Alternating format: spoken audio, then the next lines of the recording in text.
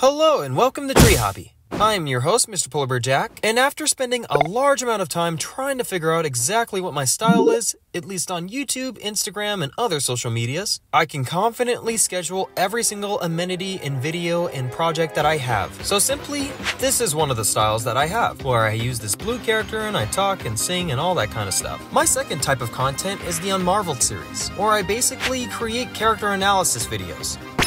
The third type of content is essentially drawing presentation videos. Fourth is the Melancholy Star series, with your ever so lovely, I have never given her a name, have I? And finally, my webcomic, or at this point, my web novel, Fruits of Labor.